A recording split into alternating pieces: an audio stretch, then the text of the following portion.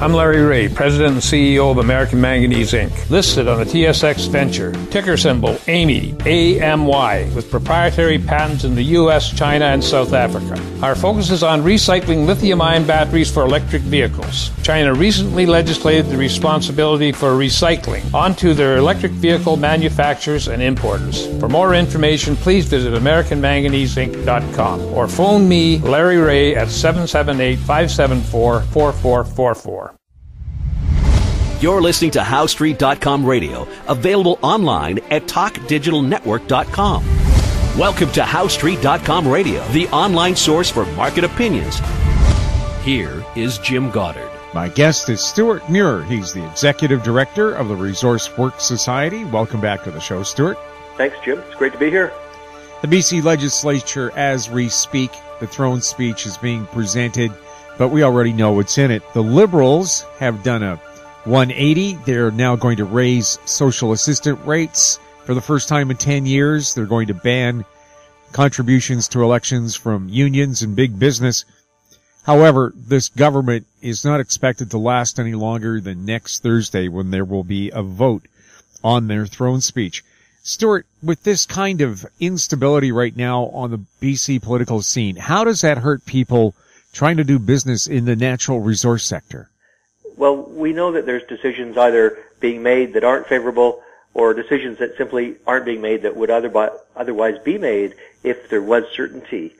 And we saw that recently in a report that we've talked about, the Scotiabank report that says we are looking at uh, some risks to a lot of companies that have operations in BC, particularly in the energy and energy services field, that will feel the pinch if there's uh, a review of of some of the natural gas operations. If Site C goes down for some reason, you know, we're going to see a very significant economic impact. And that really translates to one four-letter word, jobs, that we'll be losing. So uh, the, the uncertainty, I think, is already causing this. I was in Calgary recently, and business people I was talking to out there are, are telling me that uh, they aren't uh, proceeding with developments at this time. And let's hope they do come around and make those investments, but, but right now they're in a holding pattern. When you throw that kind of a, a bucket of cold water on things, do you think these people who will be taking power in BC realize that their statements are already slowing down the economy, which was the best in Canada?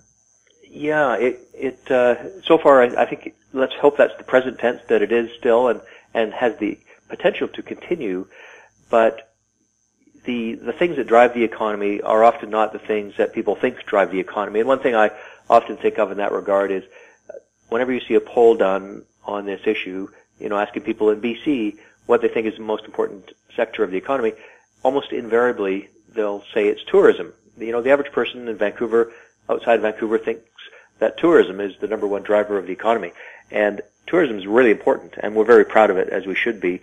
But uh, the honest truth is, it, it's not the driver of the economy that a lot of people think it is. You know, the things that really drive things are, are they're not very glamorous. They don't occur under our noses. They occur in the vast land base outside of the lower mainland that people don't see every day. And sometimes in their whole lives they might never see because it's pretty unusual to wind up at a mining site or uh, natural gas extraction area. You know, most people don't get to see that. They might see forestry because they're driving by it on the highway or they see some of the sawmills that are located in our suburbs and and uh, outlying communities. But for the most part, you you don't see that every day. Whereas people see a cruise ship and they see this wonderful shiny thing, it is truly a marvel. It's great for the economy, but it's not the driver. So um, I think it's easy for politicians too to be affected by that because they're thinking not so much their own observations, because politicians are usually pretty smart people, but they're also affected by the mood of uh, of a, a great mass of voters who are affected by you know all sorts of factors in the in the environment. And and one of them is that there is a low level of economic literacy. You know we've measured it. It's true. People just don't connect the dots and need help doing so. So how important are projects like the site C dam and the Trans Mountain pipeline? Well you know when Angus Reid went out there recently the institute that does polling they were looking at what people thought was important. And actually notwithstanding the fact that that often people uh, don't see the important industries, there does seem to be a gut awareness that things like a pipeline to get crude oil from the oil sands to markets in foreign places are needed. And the same with Site C. You know, there's there's a lot of talk that we don't need Site C because uh, you know there's a whole laundry list of reasons that you see uh, given. It's not going to be needed, or it's too expensive, or that kind of thing. Um, but if you look at what the actual voter believes, it's really interesting. So you take Kinder Morgan pipeline. That's the one that's going to be twinned. It'll come through Greater Vancouver. It'll, it'll allow the oil sands product to get onto ships, so it can get a higher price in foreign markets. That's the whole idea. So uh, Angus Reid went out and they they said, um, based on what you have seen, read, and heard, what should happen with the Kinder Morgan project? They gave people three choices. Let's go ahead as planned. Let's study it some more.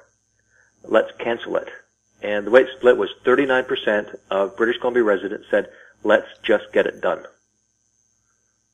You know, actually only, only about 26% said cancel it. You know, that's a quarter of people versus almost 40%. So, you know, it's pretty clear. When it comes to Site C, it's actually almost identical, um, but more dramatic because uh, 40% of residents of BC said, let's get, go ahead now and finish Site C. But only 20% said cancel it. And, you know, there's, I think one political party provincially that wants to cancel it, only one that I'm aware of, um, and, and, and one that has said, let's absolutely do it. So, um, you know, the, the broad mass of people wants to do that project too. So there's two major infrastructure projects.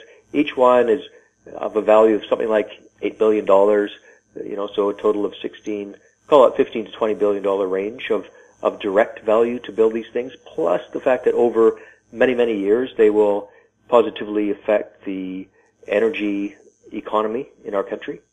And they will also, in both cases, lead to a more responsible approach to climate management in Canada. Site C because it will create clean renewable energy in an, an abundant, affordable way. And the Kinder Morgan pipeline is because it will continue to let us develop our oil sands responsibly, continue to invest in the technology that is lowering the carbon footprint of our oil sands. You know, I was out in Calgary recently and it's just amazing what they're doing out there in dozens of different fields and areas to to improve the environmental performance of of Canadian energy. It's quite a story. We'll have more with Stewart Muir right after the break. Gem International is a new diamond explorer in the richest diamond producing country in Africa, located next to the fourth largest producing diamond mine in the world. International Spotlight is on an 1109 carat diamond recently discovered in Africa by a fellow Canadian junior with a proven operator and finance team. Gem International trades on the TSX Venture Exchange. Symbol GI. Visit us at gemdiamondmining.com. Lotus Ventures Inc. is a BC based medical marijuana company poised to launch into the rapidly evolving cannabis sector. Lotus is in the final review stage of the Health Canada approvals to become a licensed producer, having arranged facility financing of up to $12 million, plus building permits for its prototype indoor production facility. Shares trade under the symbol J on the Canadian Securities Exchange. Visit our website at lotusventures.ca. Welcome back. We're speaking with Stewart Muir. Stewart, because of the lack of direction that we have in BC right now, uh, any estimate on how much economic activity might have been curtailed? Well, we see with particular companies that have, say, you know, uh, five, ten percent of their total operations in BC.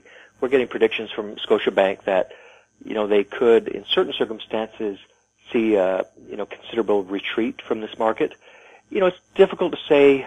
Um, you know, if we do have a certain governing arrangement in Victoria, and Site C, for example, has to be cancelled because of that, that's uh, that's about an eight billion dollar um, cessation of ac- activity.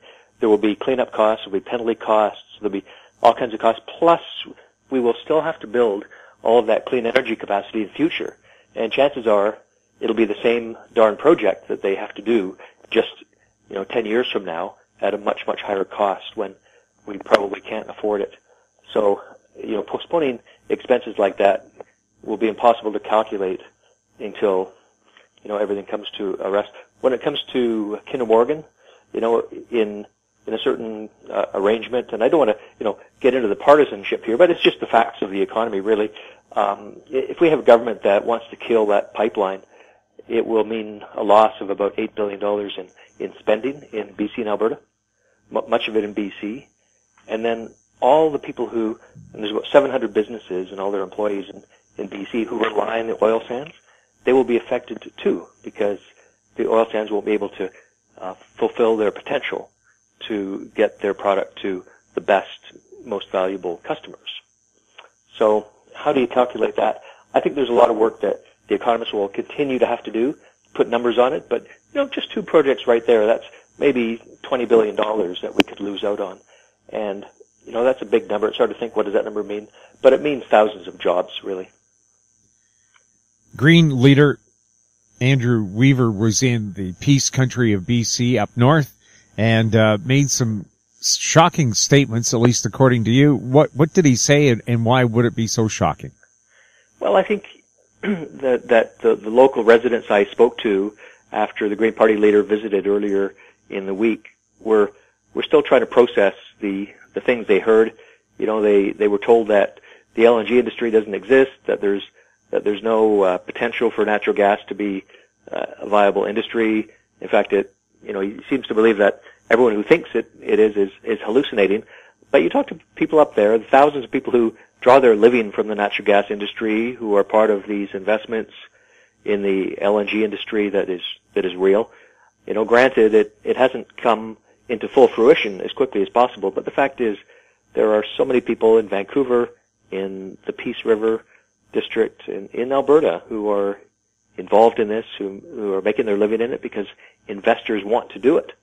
Um, so they're just they're puzzled, and you know sometimes people call me to see if I can help them get through it. But I'll, I'll tell you on this one, I'm, I'm pretty stumped. I I don't know why one would would uh, go up there and deny what any any reasonable person can plainly see is the case. Um, so there's you know there's some kind of uh, mysterious alchemy there. We'll, we'll see whether it's a successful strategy for the Green Party. I don't know. But with the Site C, it's a similar thing. You know, there's a project, um, like like like anything that involves moving massive amounts of earth around. It's definitely got issues. You could you could look at the court cases involving First Nations, and you could have the debate as to whether you know that has been all it could be. Um, nevertheless, you see these various lawsuits being settled one by one.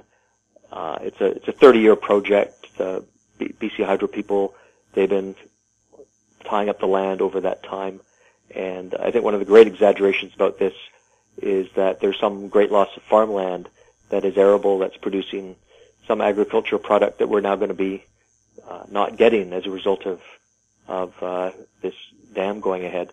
But if you look at what's actually happened on the ground, there's almost none of that land that's been used for agriculture for a very, very long time, if ever. So, you know, there's some, some myths and realities around the project, and I think it was good. I'm, I'm really pleased that we did see a Green Party delegation go up there. That takes some uh, bravery to go up there to see people whose livelihoods depend on some really important decisions, who really feel that they're doing more than their share to support BC and make it a, prosperous place. You know, they're providing the the food. They grow a lot of grain up there. The the energy. You know, they have wind farms. They have natural gas. They have uh, mines up there. They produce a lot of good. You know, they really feel that they're the ones who are the providers for the good life that we have at the in the Southwest, and no one appreciates it. And you know what? I've been up there a lot of times, and I do have to agree with them. Do you think then it's myopic here? Also, when I talk to people about Site C, they say, well, look, of course, you know, power consumption has gone down due to conservation. But on the other hand, as we switch to more electric vehicles and so on, and this dam is a 100 year project. It's not just for the next two to five years. Yeah, that's right. And you know, you look at the alternatives. I know there are some people who say, "Look, uh, yeah, we've got all this stuff that's our natural gift. It seems in in BC to have these these amazing uh, uh, prospects for hydroelectricity, but we shouldn't be doing that. Let's let's get a solution that they're using in Spain or in Australia because you know it would be nicer to have solar panels, or, or let's let's do what they're doing in Denmark because they love their wind turbines and that's what Canada should do. Well, you know, I, I'm not buying that because I think what we have in Canada, especially we have in BC, is is the the best set of domestic energy conditions to pursue our livelihoods, to protect the land, to be a, a supporter, a, a cheerleader for the indigenous peoples who are seeking their destiny in ways that they must be the ones to define. We can we can do all of these things, and we can do it because we have the best set of energy choices. And the idea that we have to, you know, adopt some, you know, import our solar panels from China and put those up, and that's the way to satisfy the solar lobbyists. I, I'm sorry, when we have the potential we've got in our in our rivers, we've got our very clean natural gas, we've got the the wind supplies that we have, we, have a neighboring province with so much oil that we are through technology and science and, and the work academics are doing, we are making it better and better. You know, we've got our people making cars around the world that every year get more and more efficient. So when, when you have people come along and say, drop everything and you, and buy my solar panels, drop everything, buy my electric cars, I've got the solution. Um, there's something inside me, Jim, that is just a little skeptical about that when we've got so many good things already. Well, less than 1% of the world's vehicles are electric right now. That's true. And I was just reading a blog post from this uh, Leaf owner, one of those Nissan Leafs, uh, who who said, "I'm going to surmount this challenge. I'm going to see if I can drive my Leaf from, I guess, Abbotsford or Vancouver to Merritt. Now, Merritt is only halfway, if that, to to the Okanagan or Kamloops. You know, th- those are the destinations more commonly. Not too many people are going just to Merritt, but nevertheless, the Leaf owner said, "I'm going to see if I can get to Merritt without having to stop for for a fuel charge." And there was a great long blog post about the trials and tribulations of trying to do so, and uh, you know she had to stop at the old toll booth because there's a place I guess you could plug in your car if you're Enterprise and you could trickle charge it from a from a 110 volt, and uh, it, recording this whole adventure it was like some something from a past century of someone ar- undertaking an arduous trip across the Rockies by by mule train. It it, it was a strange uh, account when you think about the just the convenience that we've come to expect from our motor vehicles today. Um, you know, I, I do hope that we get to this this uh, end state of having these uh, zero or close to zero emission vehicles, but uh, to to to think that we're there now would seem to be still a bit of a stretch.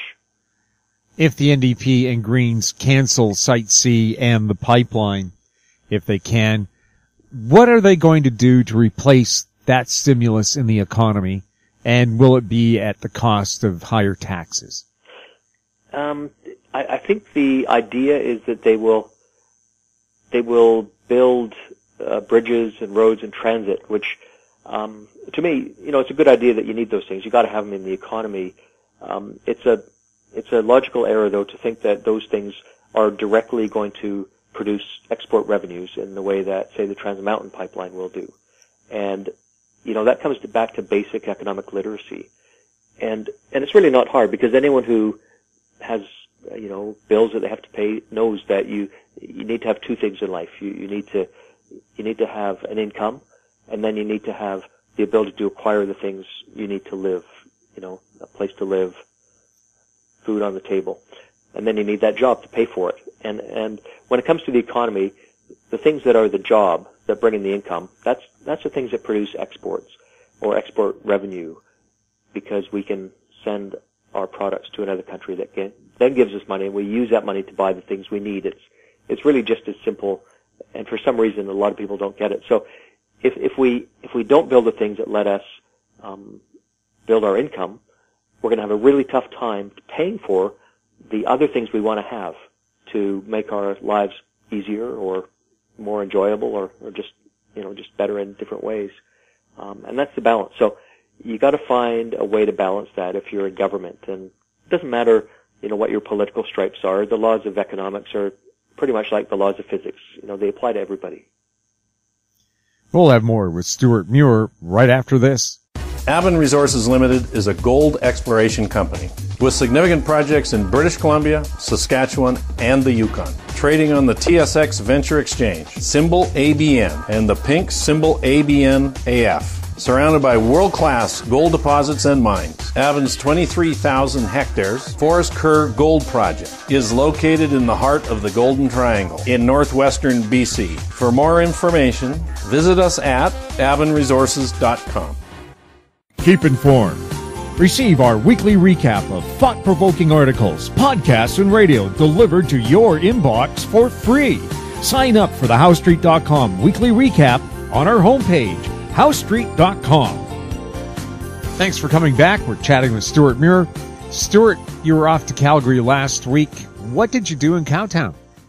Well, I went there with a friend of mine, the mayor of Fort St. John, Lori Ackerman. We wanted to make a bit of a, call it a diplomatic mission out to Alberta because, you know, in, in BC, you scratch many a British Columbian and there's an Albertan underneath there. And I'm one of those, I was born down in southern Alberta many years ago. And, uh, I've made my life, most of my life, uh, when I haven't been in, in foreign countries working as a foreign correspondent and things, I, I've, I've been in Vancouver, been on the West Coast, been in Victoria, and this is home. But you know what? I go back, I see those grain fields, I see those mountains, and that's another home for me too. So um, I know Mayor Ackerman's the same way, and we went into Calgary because we wanted to say, look, uh, you're probably hearing a lot out of BC. You might be worried what's going on out there. Here's two British Columbians. We're coming out to Calgary to say, look, we're we're working for Western Canada. There's a lot of us who believe that building the economy of BC by by letting things like Site C, LNG, the oil pipeline project, and other related things in that category, you know, helping them to move ahead is something that builds a better life for all of us, and we can do it while respecting the environment. And we want to say that to, to Albertans. So we went on to a radio show out there that's got a pretty big audience. And what was the reaction to you telling them that BC isn't just a bunch of dope smoking, sushi sucking hippies? Now you put things in your inimitable way, but uh, that's that's what you'd hear from a lot of people in in Alberta. Jim, well put. Um, you know, we had call, callers into the radio station. We went on AM 770 with Danielle Smith, pretty well known uh, broadcaster out there, and it was really strong show of support. She was so pleased when she found out what we were up to, and we left there after the interview feeling pretty good about the fact we had taken a viewpoint that I'm sure is shared by at least 40%, maybe much more of British Columbia, and, and able to represent that. Because I don't know if you've been hearing lately in Alberta, they've been forming up a viewpoint about BC and our attitude towards helping Alberta succeed. And so they heard your positive message. Do they think they can get through to what could be a government here that just doesn't believe you should build anything near anyone? Yes, well, the jury's going to be out on that as to what Alberta's point of view is. You know, we we try to give a message that you know, you, hopefully you're going to be able to work with with everybody, have a have a positive relationship. You know, stay focused on on on the positives, and um, you know, keep in mind that most people in BC do support the values that people in Alberta support. We're we're we're the west of Canada. You know, sometimes within Canada overall, you know, it's us in the west that feel we're we're uh, a category that is left out of Ottawa's thinking. So that sometimes can unite us in a positive way, and and then all of these relationships back and forth where people are they're working in Alberta but living in BC or the other way around. They've got family, friends in both places, you know, they've got businesses that are somehow involved in both places. You know, there's so many bonds there. Nothing any government does will ever break that. But right now, it's very stressed. Well, I think there's going to be strained feelings between BC and Alberta as soon as the Liberal government in BC is defeated in the legislature in a non-confidence vote, because Rachel Notley, the leader of the Alberta NDP and the Premier, told her MLAs not to help the NDP campaign in BC during the election six weeks ago. How is that going to help relationships between BC and Alberta? Yeah, I think there will be probably a lot of diplomatic shuttling between Edmonton and Victoria if, if we get that governing situation in BC, which is certainly possible. Um, yeah, it's a, it's a tough one. You know, I think it, we're going to see uh, in BC as not so much Site C. I think Site C is a little bit out of sight, out of mind, and it's the more likely one I think to to to just you know go ahead in some form. Whereas there's going to be, it seems, a very deliberate action by by an alliance government in BC to try to stop that federal project. It's going to test the prime minister and his cabinet as to how they approach things in BC. Um, it's going to, you know, affect the the revenue uh, forecast for the energy industry, for the federal government. People are going to be saying, well, if we can't have that pipeline in BC, can we have a pipeline anywhere in Canada? You know, so so uh, the the degree of damage that this promise will do to Confederation, to our our good friends next door, is certainly one that's going to cause distress for Premier Notley and, and her people. And uh, you know, they are ones with a certain special relationship with this this alliance coming to Victoria. Um, they, they'll be the ones most motivated to to try to improve it, and we'll see how they do. Stewart, thank you so much for chatting with us. Thank you, Jim. My guest has been Stewart Muir, Executive Director of the Resource Works Society. His website, resourceworks.com. You're listening to HoweStreet.com radio. Find us on Twitter at Talk Digital Net. Our very popular YouTube channel is Talk Digital Network. Questions for the show or our guests can be sent to info at HoweStreet.com.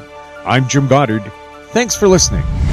Comments made on HoweStreet.com radio are an expression of opinion only and should not be construed in any matter whatsoever as recommendations to buy or sell any financial instrument at any time. Available online at TalkDigitalNetwork.com. HoweStreet.com radio is a production of HoweStreet Media Incorporated.